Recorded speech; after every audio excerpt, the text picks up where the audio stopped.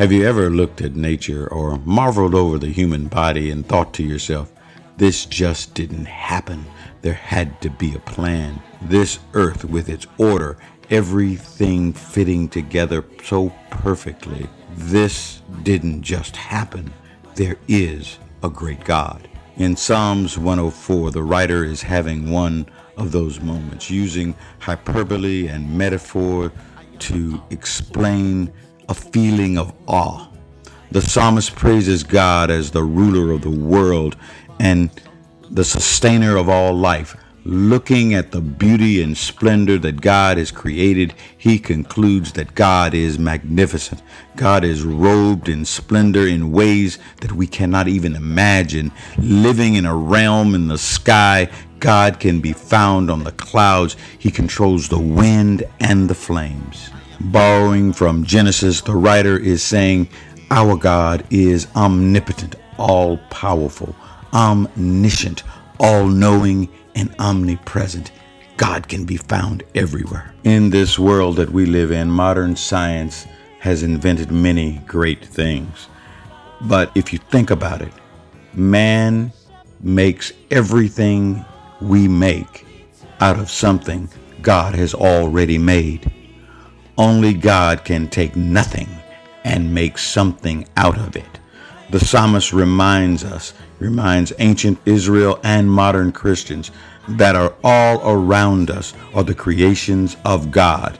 Man can make ships that sail to and from over the sea, but God makes the sea and makes the wood and makes the coal and steel from which we make the ships. You see, we can make nothing without God. Creatures of the sea are too numerous for us to count. Even now, with our great technology, we still find new creatures in the sea that we have never discovered. God continues to marvel us.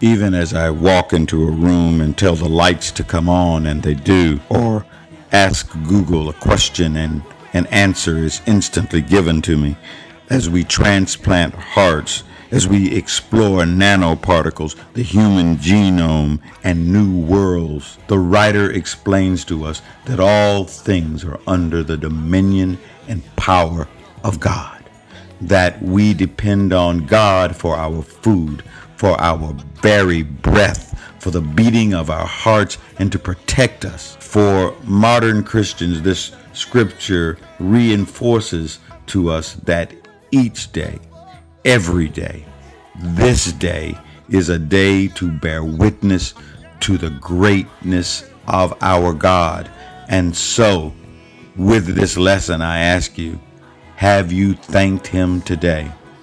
Have you parted your lips to simply say, Thank you, God, for the blessings you have sent my way?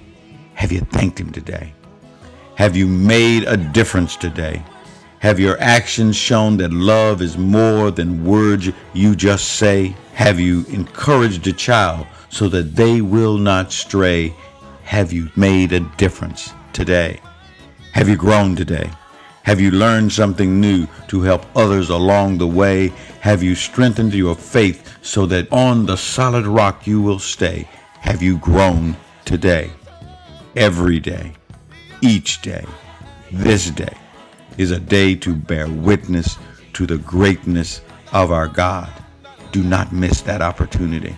That's the lesson for this week. You guys have a great week. Bye.